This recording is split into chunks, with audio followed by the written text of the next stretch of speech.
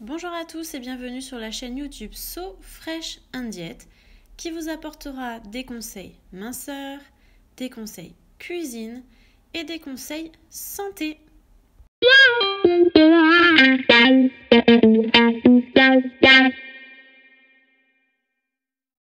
Bonjour à tous et bienvenue sur ma chaîne So Fresh and. Aujourd'hui, je vous fais la lecture de mon article. On adore la raclette, la fondue et la tartiflette. Pas de panique, le fromage aussi a des atouts nutritionnels. En effet, il est très riche en vitamine B2. La vitamine B2, elle contribue à la transformation des graisses de réserve en énergie et elle intervient dans la fabrication de la kératine, une protéine très importante pour la bonne santé des cheveux. Le fromage est aussi très riche en vitamine A. La vitamine A, elle est indispensable pour avoir une bonne vue. Elle favorise également le renouvellement cellulaire, notamment de la peau et des muqueuses. Et tout comme la vitamine B12, le fromage est aussi très riche en vitamine B12.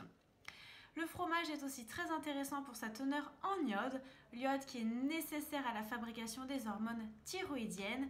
Et les hormones thyroïdiennes, elles régulent la production de chaleur de l'organisme afin de maintenir la température de notre corps à 37 degrés. Et les hormones thyroïdiennes pardon, régulent aussi la dépense d'énergie de l'organisme.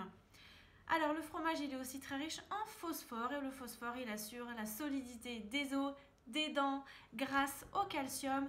Donc voilà, vous l'avez compris, le fromage est quand même très intéressant. Je dirais même que c'est un atout jeunesse. Donc régalez-vous bien et ne culpabilisez surtout pas.